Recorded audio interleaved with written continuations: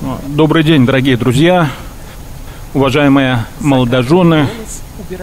Я надеюсь, что вы меня смотрите. И для тех, кто не в курсе, 15 лет назад Дормидонт и Дуся поженились. Закадровый голос убирается. А, Да, и вот сегодня они празднуют очередной а, юбилей свадьбы.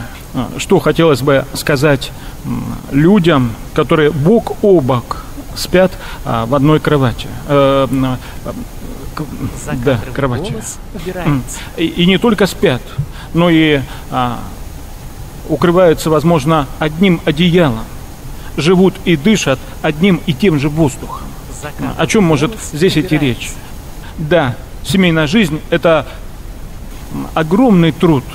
Ведь лежать на диване, а, я так понимаю, господину Пупкину не приходится.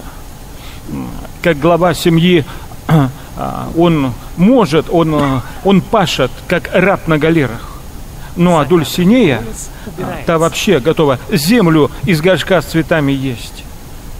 Но лишь бы все в семье было хорошо. Таким образом, мы видим, что все в семье хорошо. Все накормлены, начищены и наглажены. Молодцы.